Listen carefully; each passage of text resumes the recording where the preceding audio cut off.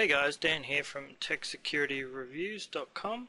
Today I just wanted to show you uh, how to use the parental controls module that comes with Kaspersky's internet security software. Uh, you also get this with Kaspersky Total Security as well. Uh, so let's just take a quick look at it.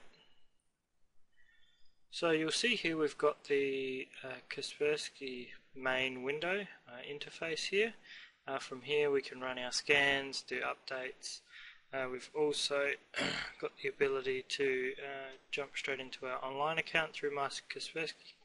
And we've also got here the parental controls module. So if we click into parental controls, you'll see um, the first time you run it, you'll be offered to create a password. Now, it says here, before we get started, we advise you create a password to prevent others from changing parental control settings. So basically if you don't set a password here, if you set parental controls on someone else's account, uh, they could jump on and actually change their own control settings. So basically you want to set a password here to ensure they can't do that. So we'll just set one now. Okay. And, oh, password strength. Passwords don't match. Okay, let's try that again.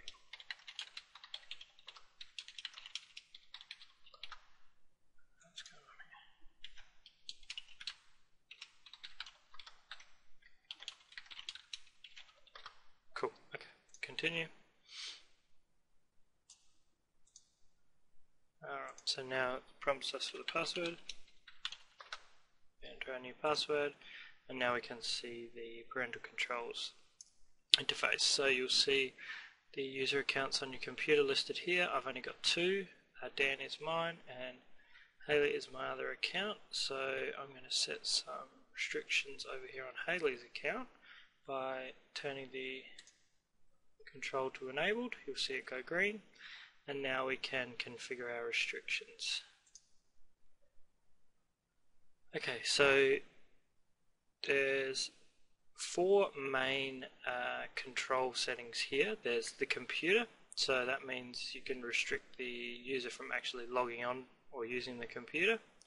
Applications, so you can block um, certain games and things like that. Um, you can block internet usage, and you can also block downloads as a part of that, and you can also just block uh, content control, so you can block uh, data being transferred to third parties. So let's start up here at computer.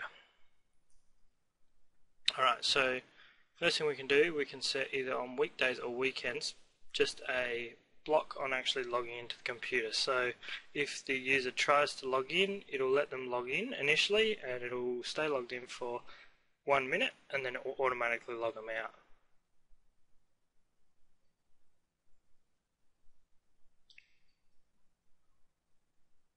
So you can set that from times. You might have it from say 10 p.m. to 6 a.m. or something like that on weekdays.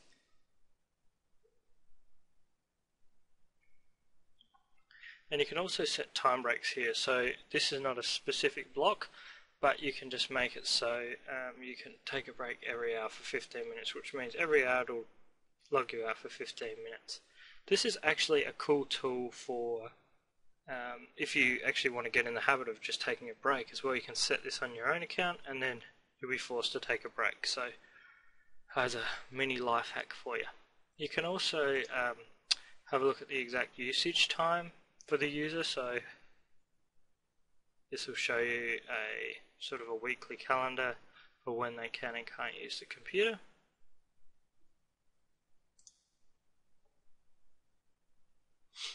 Looking now at the applications tab, we can block, this is for games, so you can block games um,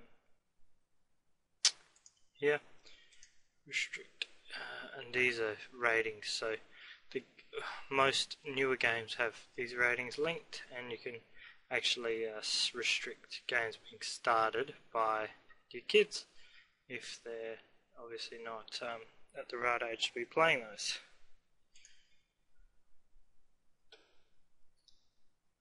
And you can select your different rating system here as well to to uh, link up to the section up here. Internet blockage, so you can also restrict by hours per day on internet.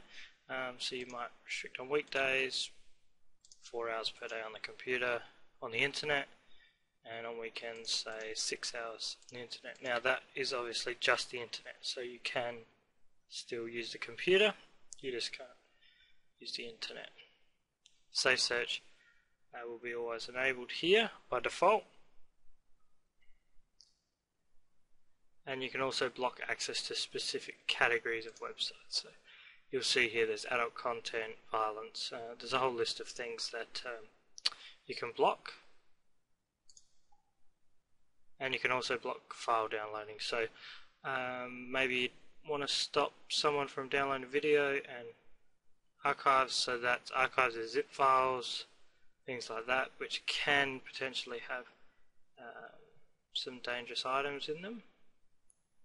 And the last one here is content control.